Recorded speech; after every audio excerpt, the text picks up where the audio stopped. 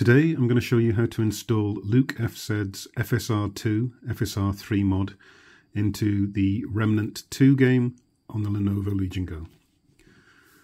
So you'll download these files from Luke FZ's Discord after signing up for his Patreon. The file we're interested in first is FSR2 FSR3 220. So if we open this and if we select the topmost checkbox, that selects everything, and we click the copy icon here. We can close this window now, come down onto the taskbar, and we're going to navigate to the Remnant 2 directory. So if this will be located in different places, if you downloaded the game via Epic, it'll be somewhere else on your disk. If you've downloaded it onto your SSD, it'll be on your C drive somewhere. For me, I've downloaded it onto an external SSD, so it's on my E drive. So you'll want to find Steam Library, Steam Apps, Common, Remnant 2, and there's another folder called Remnant 2, so we go into that. Binaries, Win64. And then if you right click on here and paste the files that, that we copied earlier.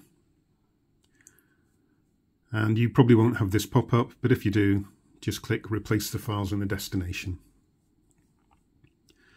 So we're not quite done yet. Um, let's minimize this window and we'll go to another of files that we downloaded from Luke's Discord and that is enable fake GPU. So just select the checkbox next to it, copy, and then we can close this window and come back down onto File Explorer to the directory we were in earlier, Win64, right click, and we're going to paste. And again, if it pops up with replace the file, click replace. So that should be the mod installed. So I'm going to go into Steam and I'm going to start the game.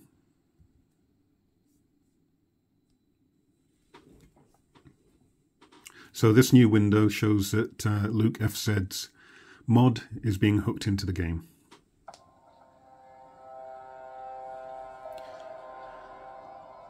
I should point out Remnant 2 doesn't like Riva Statistics Tuner. Now, if you don't know what that is, you're probably not running it, don't worry. If you do know what it is and you are running it, it's best if you make sure you're not running it when you start the game. Otherwise it will just bomb out on you and it will probably tell you that it's because of this. So it is okay to start the game and then start Riva Statistics Tuner once you're loaded in. And that's what I'll try and do. So I'm going to start the game.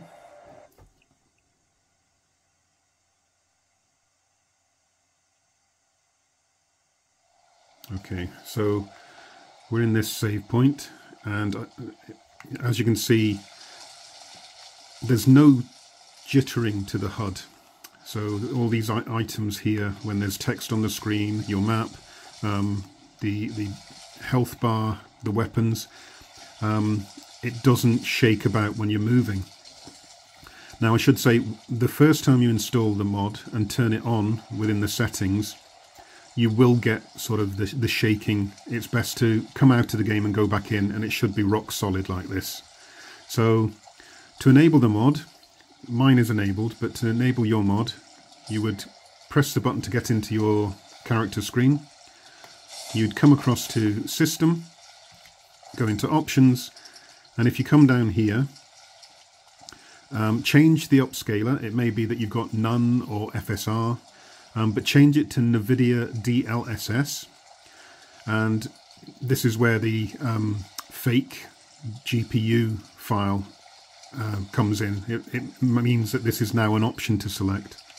So select NVIDIA DLSS, change your upscaler quality to quality, and turn on DLSS frame generation. Uh, select the graphics quality preset of low and those are pretty much all the settings you'll need to change. and then come back into the game. Like I said, the first time you enable it, the, the head-up display will be jittering, so it's probably best to come back out and then re, re, restart the game.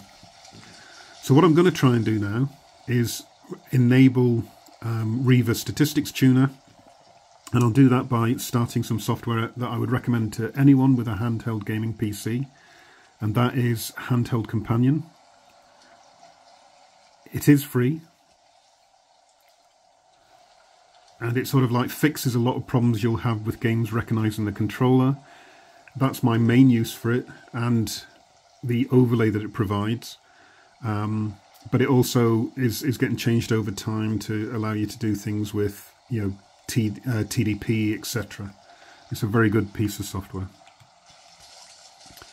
So I'm just waiting for Handheld Companion to start up. It can take a while. Now that audible bleep is it I think starting and then it will start up Riva Statistics Tuner.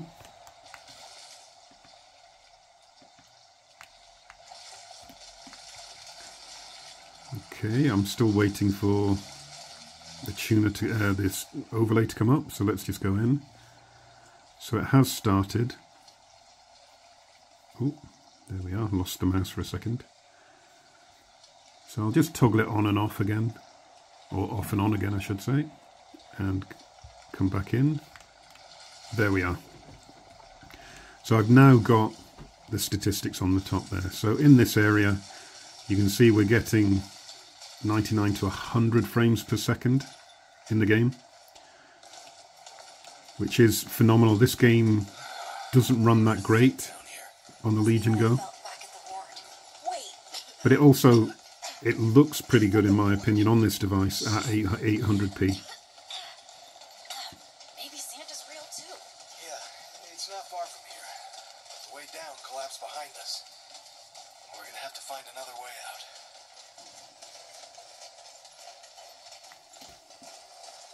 This is probably the best um, I've seen Luke's FSR mod run in. You know, there's no jitter to the HUD. Um, it's just rock solid and, you know, it's just providing that extra frames per second. And if all games were like this, you know, if it was this uh, good in every single game, oh, it would be amazing.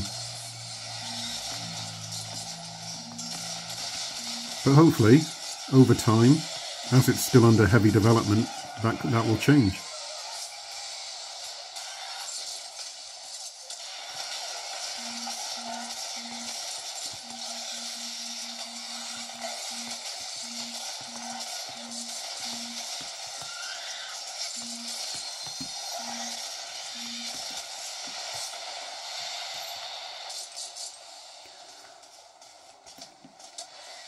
What I've really noticed as well is that the recent change to Legion Space has fixed the issues with um, with the um, thumbsticks. It's so much easier to target and aim.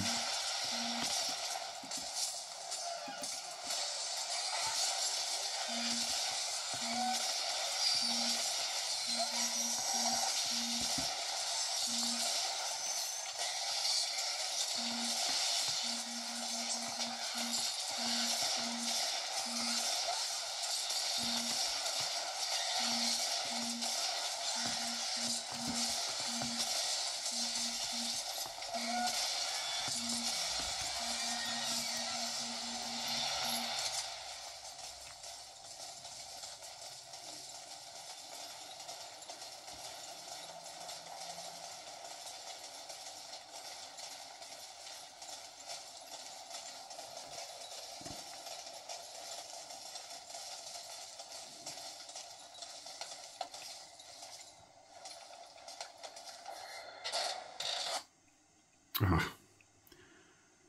And there we have a crash, which is unfortunate.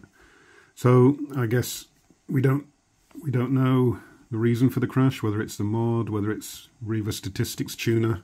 Um, I know the mod does cause crashes in The Last of Us um, when it's starting to uh, to do a cutscene. So I'm wondering if it's crashing on a cutscene there. So still a lot of progress to me to be made on this add-on but um, I'm really impressed with how playable it's made that game. Um, Remnant 2 is is pretty difficult um, to play on the Lenovo Legion Go, but this, you know, the, the mod change made made that so much better. Shame about the crash. So anyway, I hope this video is useful to you, and keep, uh, I'll speak to you in the new year. Bye.